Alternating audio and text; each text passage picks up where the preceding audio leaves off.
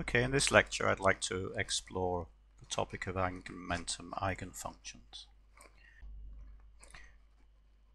Now, as explained, there were three angular momentum operators in the three Cartesian directions. So the angular momentum along the x-axis is described by an operator Lx. The angular momentum along the y-axis is described by an operator Ly. And around the z-axis by the angular momentum operator Lz.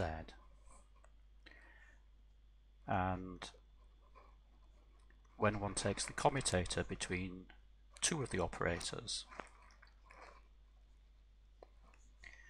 one generates the third operator multiplied by the complex factor IH bar.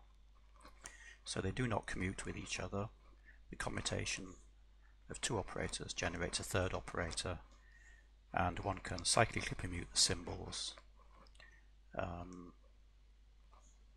to go from x to y to z and generate another relationship. Then one defines the operator called L squared. In words, the total square angular momentum operator, which is defined as the sum of the squares of the three components. And this operator commutes with all three of the angular momentum component operators. So we have L squared Lx is L squared Ly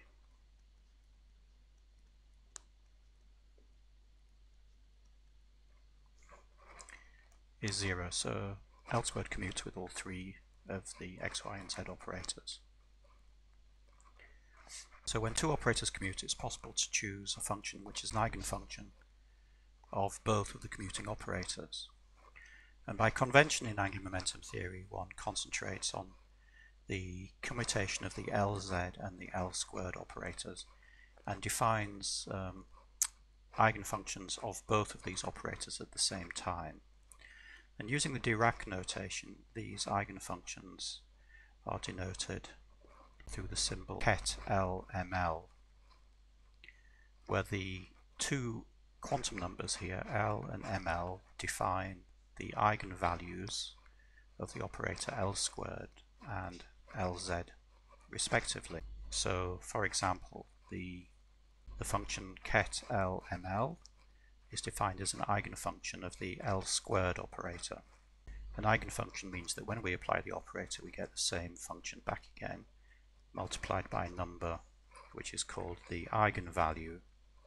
And in the case of L squared this eigenvalue depends only on the value of L and in fact it's given by h bar squared L L plus 1. Similarly the same eigenfunction is defined to be an eigenfunction of the operator Lz with which L squared commutes. So again we have an eigen relationship in which the operator applied to the eigenfunction gives the same function multiplied by a number which in this case depends only on ml and in fact is given by h bar ml. So the quantum number L determines the eigenvalue of L squared and the quantum number ml determines the eigenvalue of Lz. These quantum numbers have conventional names. L is simply called the angular momentum quantum number and it takes integer values 0, 1, 2 going up to infinity. And ml is conventionally called the magnetic quantum number or sometimes the azimuthal quantum number. And the values it takes depend on the value of L. So it takes values from plus L going down in steps of 1 until you hit minus L. Or in other words, from minus L up to plus L in steps of 1. And there are two L plus 1 such values. So for example, if L is 0, then ML has to be 0. If L is 1, then ML can be either plus 1, 0 or minus 1. If L is 2, then ML can take one of the five values, plus 2, 1, 0, minus 1, minus 2. Now let's look at these functions explicitly. These functions are called spherical harmonics.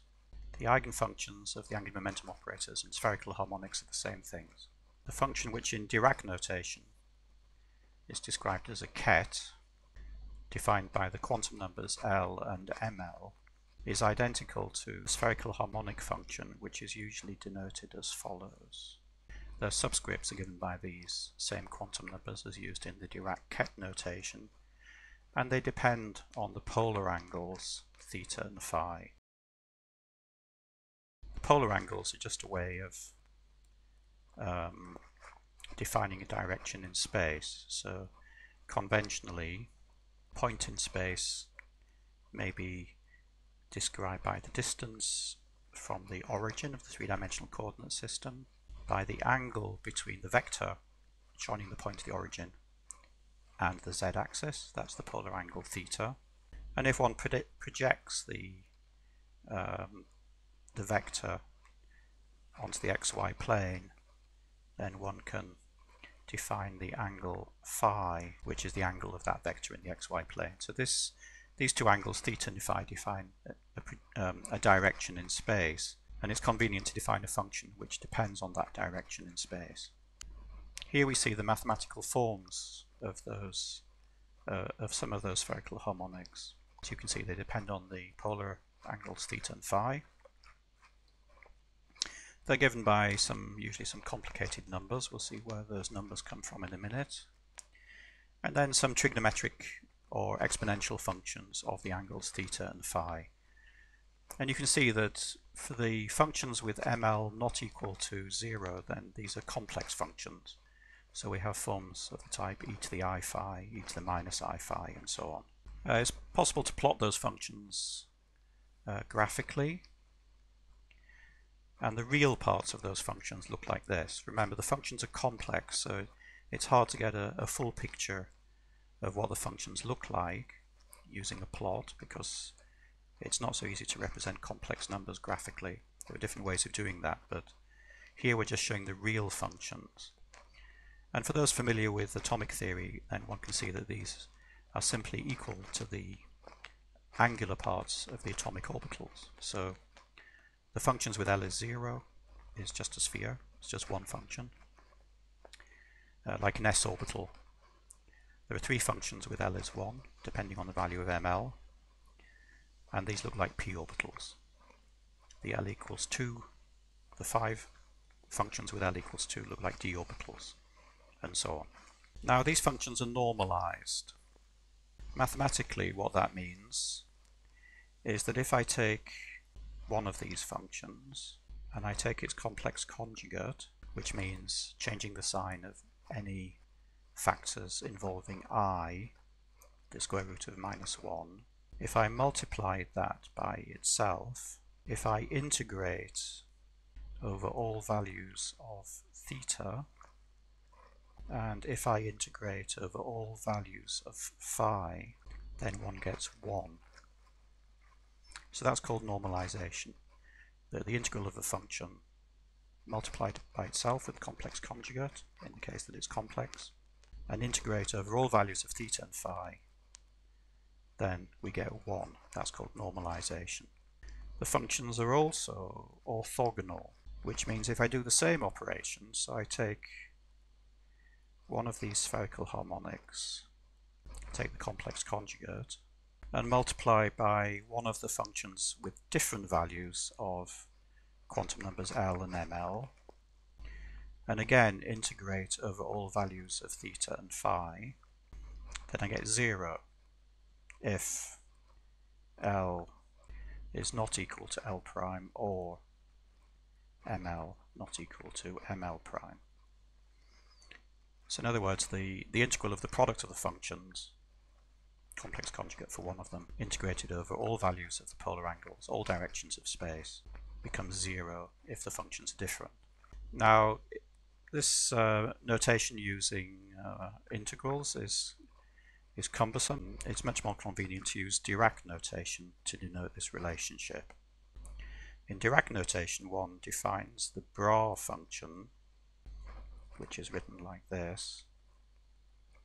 This is just the complex conjugate of the ket function. And then we can write these two relationships in a very concise way as follows. We write the Dirac bracket bra ket, where this implies this integration operation as shown here. And very concisely, one can write the orthogonality and the normalization relationship using a symbol called the Kronecker delta. So this symbol is called Kronecker delta and has the very simple meaning. It has two subscripts, delta A, B. The Kronecker delta is defined to be zero if A is not equal to B and 1 if A equals to B. So by using two Kronecker deltas, we ensure that the product is zero if either L is not equal to L prime or if ML is not equal to ML prime. So this Dirac notation replaces these complicated integral symbols and makes it much easier to see what's going on. So this relationship here defines the orthogonality and the normalization of the spherical harmonics, the angular momentum eigenfunctions. And when we put normalization and orthogonality together, we um, can say that they're orthonormal. So this defines the relationship called orthonormality. So we can say the set of functions ket LML are orthonormal